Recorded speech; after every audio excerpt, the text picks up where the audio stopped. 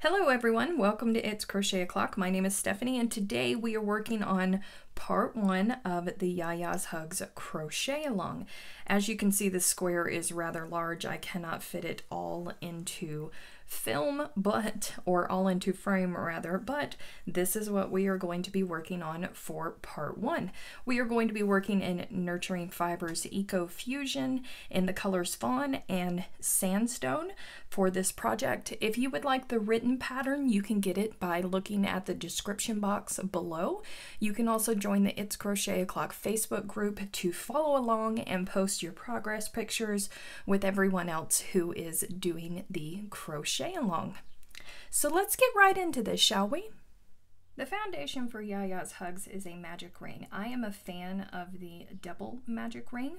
So we are going to start with color one, that is our variegated color or our color of pop for the project. For me, that is Ecofusion in Sandstone. We are going to take this and we're going to wrap it around our fingers three times. Tuck that little tail in between your thumb and your index finger. Slip your hook under the first two loops, grab that third loop, pull it through, and when you do, you'll twist just a little bit. And you'll see that it'll move freely along your fingers. Just going to zip back to the back here. This yarn right here is your working yarn. You're going to grab that and simply pull it through. That is your foundation for Yaya's Hugs. For round one, we're still going to stay, of course, within this first color. We are going to chain three, and then we're going to make two double crochets in the magic ring. So there is one, and two. Then we're going to chain two, and then three double crochets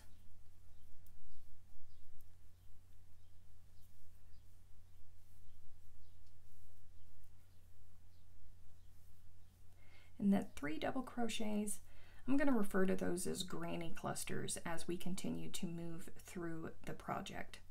We're going to chain two once more. Well, not once more, we're going to have to do that again. Then make another granny cluster. That's three double crochets.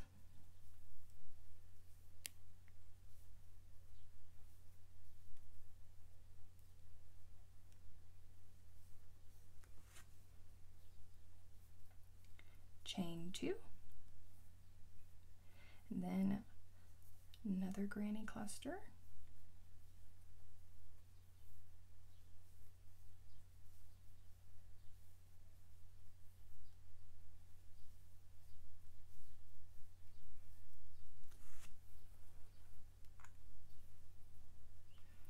Now we're going to chain two. Now this is the end of round one but we need to close this magic ring. So pull up so you don't lose your work. Now the way people go wrong with the double magic rings is they simply just want to grab a hold of this tail and yank on it. You're either going to break your yarn or get super, super frustrated, so you don't want to do that. What you want to do is you want to pull on this tail very, very slowly and watch these two loops as I do so. You see how this one down here on the bottom, it's moving over that way we want to pull it from the opposite direction and it's going to close this other loop behind us. We can close that and then you can pull on the tail freely and it will close up your magic ring. So at this point, put your yarn back on your hook and then you can grab that the top chain in the top in the chain three that we started out with and make a slip stitch and then you're ready to fasten off for this round because we're going to switch colors for the next round. Make sure you leave in enough for you to weave in the ends. And that is round one and the foundation round. For round two, we are switching over to color two. That's our solid color, or it's going to actually end up being the main color of our blanket. Mine is fawn. And we're just going to pick any of these corner spaces. It doesn't matter which one you start in. We're going to start with a standing double crochet. So you're going to yarn over on your hook and hold that yarn in place with your thumb and insert into any of those corner spaces and then create a double crochet. Just like normal, just a double crochet. So we're going to place two more double crochets in that same corner space.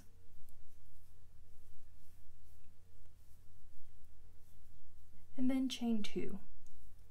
And then make another granny cluster. That's three double crochets in that same corner space.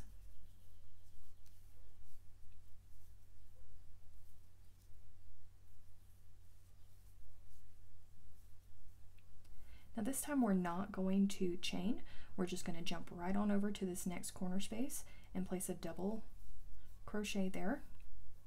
Another granny cluster actually, so we'll need two more double crochets.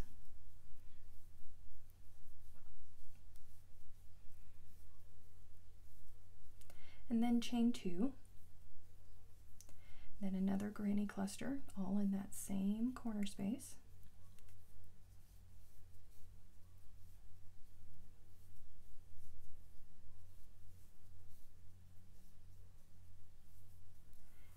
And again, we are not going to chain. We're going to jump right on over to this corner, place a granny cluster.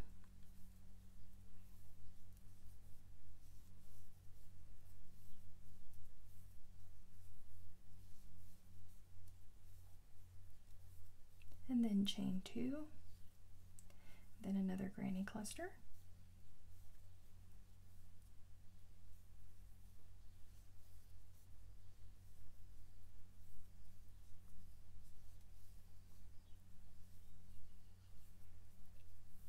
Jump right over to this last corner. No chain in between, granny cluster.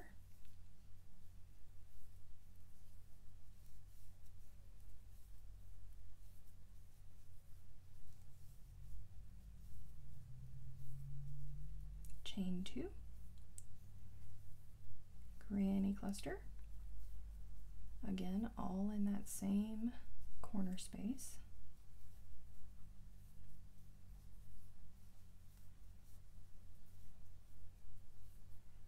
And now without chaining, we are going to slip stitch to this first double crochet. That was our standing double crochet. And that is the end of round two. Now we're going to stay in this main color, color two, for round three, but we need to get over here to the corner. So we're just gonna slip stitch our way over there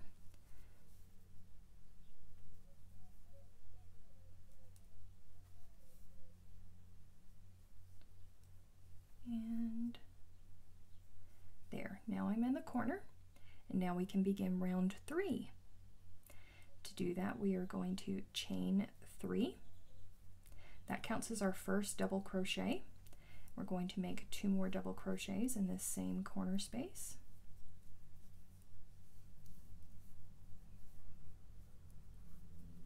And then chain two. And then granny cluster in that same corner space.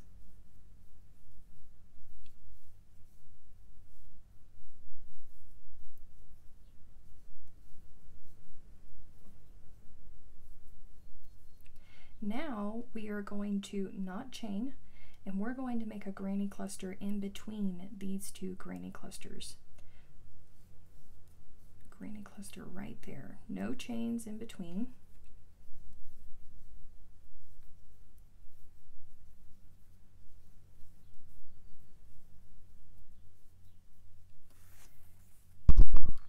Now we're going to not chain and we're going to hop right on over to that corner.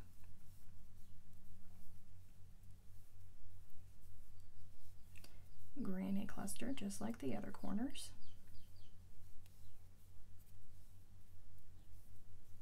Chain two and then granny cluster.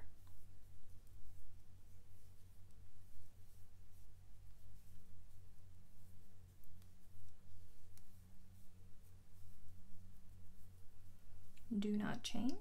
We're going to put a granny cluster right here in between these two clusters.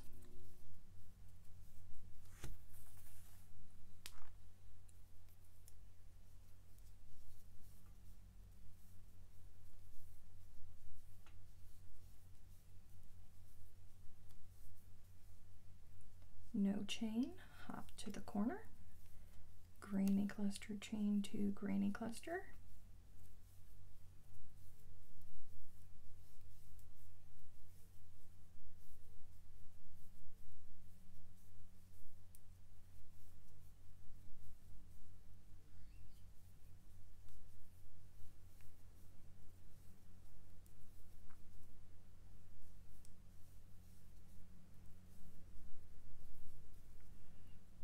going to put, play a, place a granny cluster in between these two right here.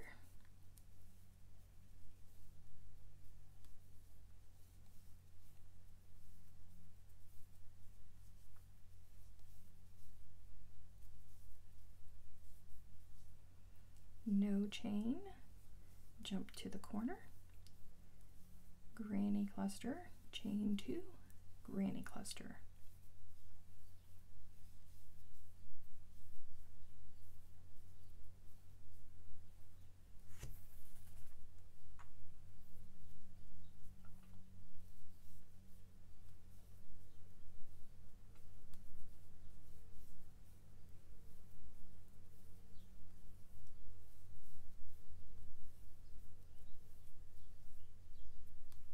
And last time, no chain, we're going to granny cluster in between those two clusters.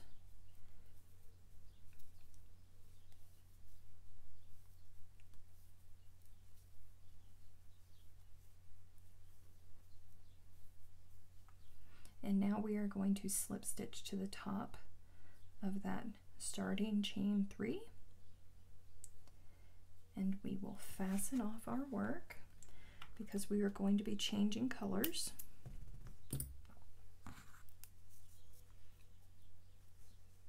And that is the end of round three. Let's get ready for round four.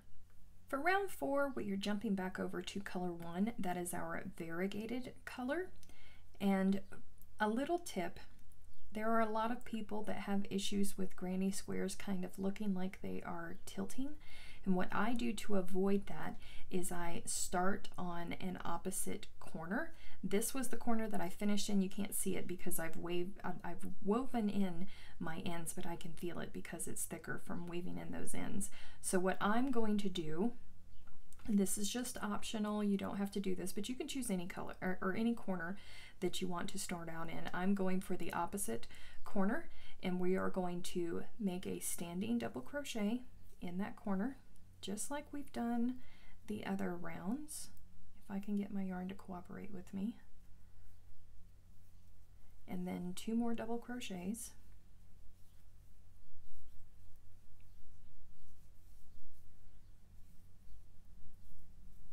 Then chain two. And then granny cluster in that same corner space.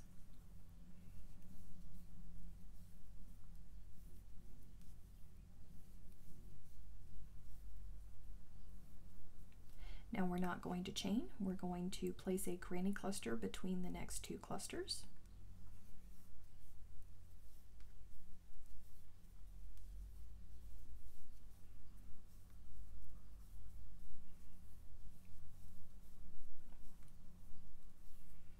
And again, we're not going to chain. Another granny cluster between the next two clusters.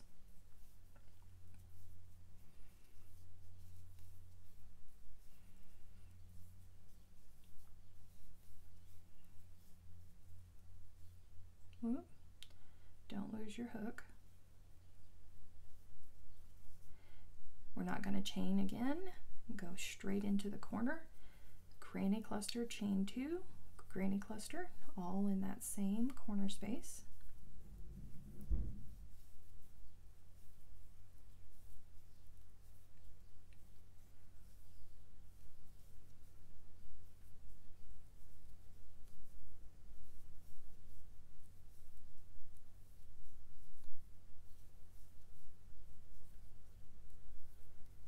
Now no chain, jump in between granny cluster,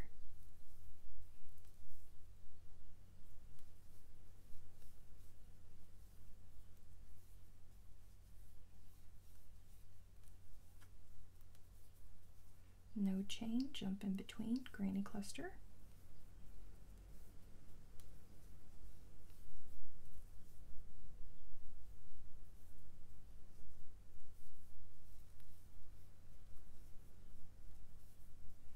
No chain, jump to the corner, granny cluster, chain two, granny cluster.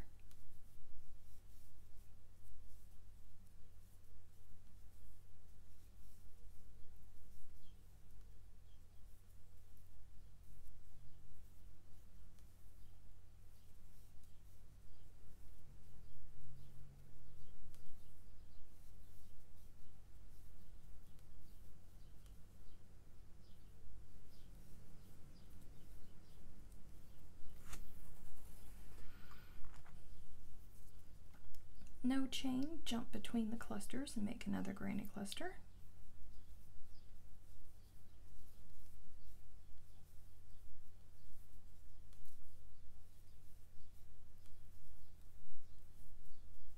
No chain, jump between the clusters, granny cluster.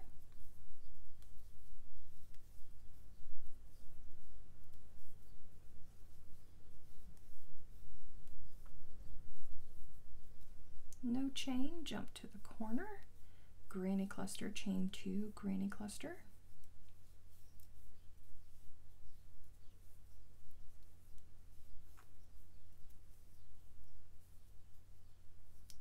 Here's my chain two. And there is my granny cluster.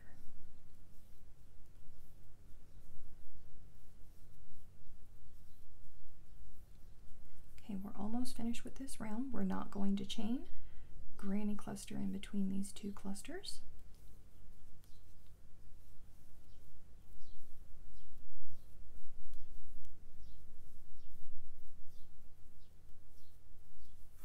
No chain.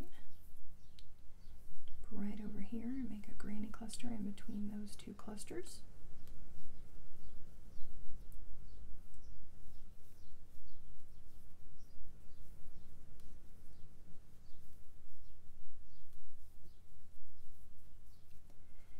We are back at the start. We're not going to chain. You're going to slip stitch to the top of that standing double crochet and then fasten off.